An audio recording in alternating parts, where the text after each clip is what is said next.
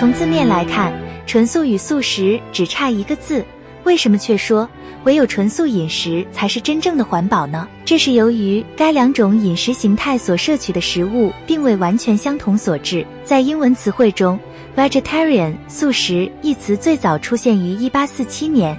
由 Joseph Brotherton 等人在英国素食协会的成立典礼上首次正式提出，而 Donald Watson 于1944年所创造的 vegan 一词之内涵，则比 vegetarian 更为深广。vegan 是一种哲学和生活方式，旨在尽可能和可行的排除为了食物、衣服或任何其他目的而对动物进行的一切形式的剥削和虐待，进而促进无动物替代品的开发和使用，以造福人类、动物。和环境，因此，vegan 是一种生活哲学与方式，而不只是饮食类型。将 vegan 一词翻译为纯素，显然窄化其完整原意。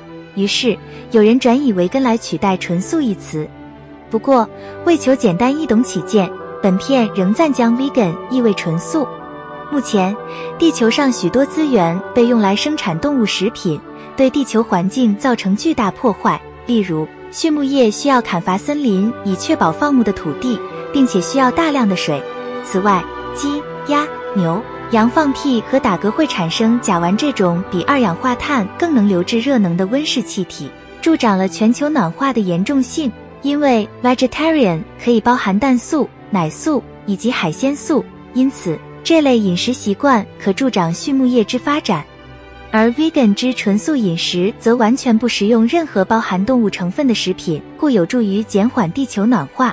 因此，我们可以说，唯有 vegan 所衍生的纯素饮食才是真正的环保，其可防止地球环境的破坏与后续衍生的灾难。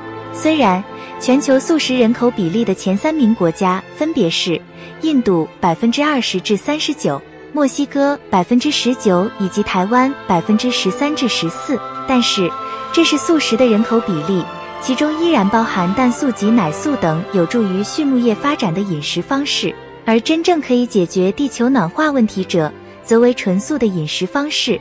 目前世界上较为高度发达的国家，几乎都可以看到纯素餐厅。关于纯素商品的企业及品牌，一如雨后春笋般纷纷冒出头来。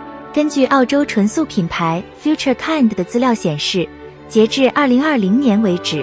全球纯素人口最多的前十名国家依序是英国、澳洲、纽西兰、加拿大、爱尔兰、美国、德国、荷兰、瑞典、奥地利。